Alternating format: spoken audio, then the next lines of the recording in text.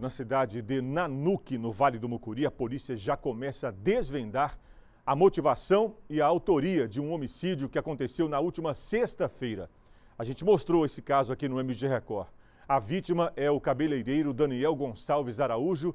Ele tinha 24 anos. Os militares prenderam um indivíduo que pode ter participação nesse crime. E o repórter Miguel Braz está de volta para a sua terceira e penúltima participação aqui hoje. Miguel.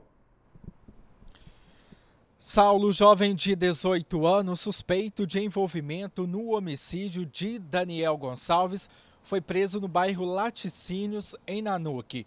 Durante os trabalhos, a polícia militar encontrou uma sacola com roupas, luvas e toucas semelhantes a que a dupla usava no dia do crime.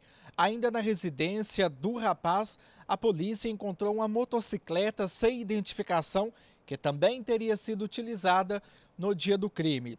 Dando continuidade aos trabalhos, os militares encontraram drogas em um dos quartos da casa e o jovem assumiu ser o proprietário dos entorpecentes.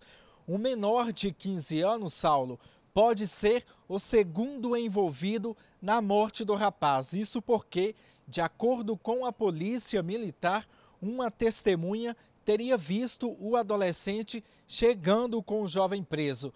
Porém, até o início desta edição, o menor não havia sido localizado.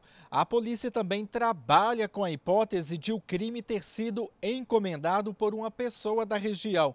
Porém, a motivação para a morte do cabeleireiro ainda é investigada. Só para a gente relembrar o caso, Daniel Gonçalves Araújo, de 24 anos, atendia um cliente no estabelecimento comercial dele quando foi surpreendido por duas pessoas que chegaram armadas e efetuaram vários disparos de arma de fogo.